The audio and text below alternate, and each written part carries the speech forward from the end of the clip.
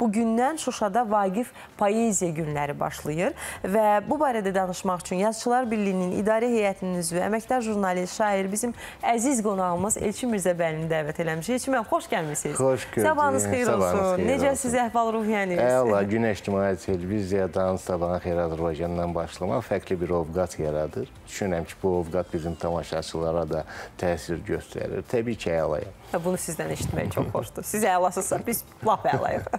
Elçin müəllim, e, biz e, zəhmət olmasa bu barədə, yəni Vaqif Poeziya günləri barədə bir ətraflı danışaq. Hazırlıq işləri, bugün e, gedən proseslər, ümumiyyətlə bunun bizim üçün əhəmiyyəti, yəni e, torpaqlarımız işğaldan azad olunandan sonra artıq biz başladıq bu günləri yenidən bərpa etməyə, yenidən bu barədə danışmağa, bu tədbirləri keçirməyə.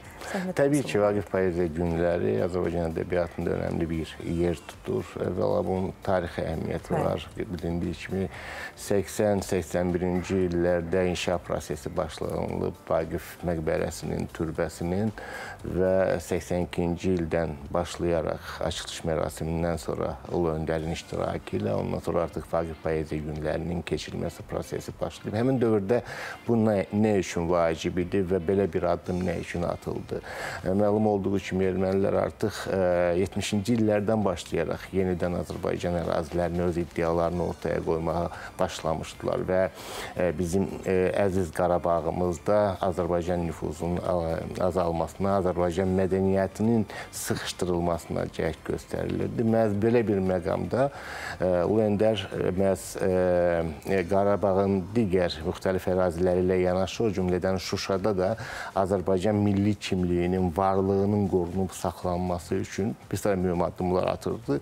Bu aspektdən də Vaqifin üzərində dayanılması, Vaqifin məqbələ, türbə məqbərəsinin tikilməsi də çox önəmli faktorlardan biri idi. Burada təkcə Azərbaycan mədəniyyətinin Şuşada varlığı özünü nümayiş etdirmirdi. Eyni zamanda Azərbaycan dövlətçiliyinin ayrılmaz bir parçası olan Qarabağ xanlığının da e, deməli e, varlığı, e, Azərbaycan kimliyinin varlığı orada özünü nümayiş etdirirdi. Məhz Vaqifin üzərində dayanılması həm də Azərbaycan dövlətçiliyinin üzərində dayanılması idi. Bu aspektdən tarixi əhəmiyyət daşıyırdı. Bəlli olduğu kimi torpaqlarımız işğal edildikdən sonra bütün ərazilərimiz kimi o cümlədən Şuşa da dağıdıldı. Məqbərə də tanınmaz bir hala düşmüşdü və bizim qəhrəman ordumuzun torpaqlarımızı işğaldan azad etdikdən sonra artıq quruculuq abadlıq işləri, prosesləri başlandı. Xüsusi diqqət yetirilən məqamlardan biri də məhz Vaqifin türbə deməli məqbərəsi idi. 2021-ci ildə bəlli olduğu kimi cənab prezidentin iştirakı ilə açılış mərasimi keçirildi və o açılış mərasimində iştirak etmək mənə də nəsib oldu xoşbəxtliyi. Önəmli bir tarix idi, önəmli bir tədbir idi. Bu gün davam etdirilir artıq, yəni müharibədən sonra üçüncü dəfədir ki, keçirilir və ə, ə, yuxarı Salaqlıdan, Vaqifin doğulduğu ə, kənddən, Qazaxdan başlanılır yol. Ə, başlanğıc və 14-15-də isə iki günlük bir tədbir nəzərdə tutulub Şuşada keçirilməsi. Onların içərisində Şuşanın müxtəlif görməli yerlərində ə, poeziya ə, deməli axşamlarının keçirilməsi, eyni zamanda musiqili ədəbi bədii tədbirlərin də keçirilməsi nəzərdə tutulub. Təbii ki, Vaqif məqbərəsinin önündə də önəmli tədbirlər keçiriləcək. Fərq çoxdur. İldən ilə daha təkmilləşir bəlli olduğu kimi. Həm Şuşanın infrastrukturu genişləndikcə ora qonaqların dəvət edilməsi imkanları da artır. Əvvəlki illərdən fərqli Bəli. olaraq.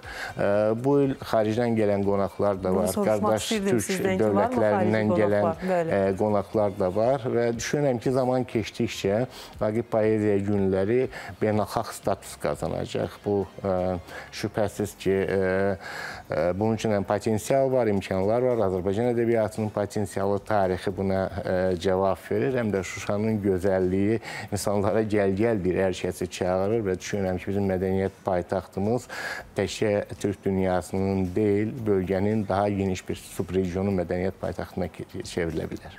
Şuşa dillərə dastandır da. Əslində Şuşaya gedən, oradan qayıdan bura xarici qonaqlar da bizim Türkiyədən olan qardaşlarımız da bizim efirdə olurlar və ə, valihlik dilə gətirirlər. Ancaq valih olurlar oraları görəndə. Bir də biz, bizim adətimizdir, bizim keçmişdən gələn tariximizdir. Bu poeziya axşamlarının keçirilməsi, Bəli. bunun e, əsrlərə dayanır tarixi. Belə ənənələrimiz olub. Nə xoş ki, bu gün o ənənələr məhz Şuşada bərpa olunur. Məhz bizim Qarabağımızda yenidən canlanır, yenidən həyat qaynayır və bu böyük qaydışın bir parçasıdır, bir hissəsidir. Siz özünüz olacaqsınız seçmən bu dəfə. Xeyr, mən bu dəfə, bu dəfə iştirak Aha. etməyəcəm. Amma təbii ki, bizim həmkarlarımız iştirak edəcəklər və gözəl bir e, tədbirin e, baş tutacağına, keçiriləcəyinə qətiyyən şübhə etmirəm.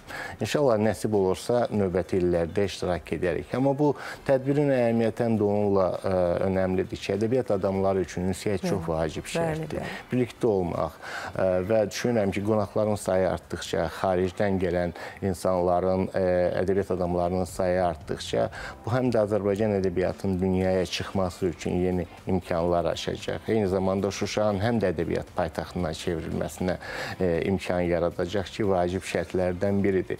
E, insanlar bir araya gəlməli, ünsiyyətdə olmalı, Şuşanın gözəlliyini hiss etməli. Şuşa təkcə bir məndən öncəki e, dəyərli professor e, çıxış etdiyi e, xalçalardan danışdı. Şuşa e, təkcə özündə Azərbaycanın bütün gözəlliyini əks etdirən sənət əsəri deyil, xalça deyil, eyni zamanda Şuşa poeziyadır, Şuşa musiqidir. Azərbaycanın hər qarış torpağı elədir, Qarabağımızın hər qarış torpağı elədir. Əhval-ruhiyyə tamamilə fərqli bir ovqat yaranır. Təbii ki, birinci növbədə biz orada bu torpaqlar uğrunda canını fəda edən bizim qəhrəman igidlərimizi anırıq.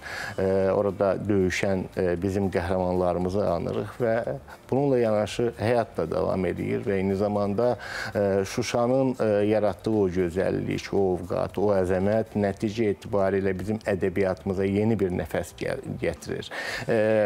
Vaxtilə məğlub durumda olanda poeziyanın çəkisi, ağrısı fərqli idi. Amma bu gün Azərbaycan xalqı bu qalibiyyəti əldə etdikdən sonra ədəbiyyatın da üzü açıqdır, alnı açıqdır.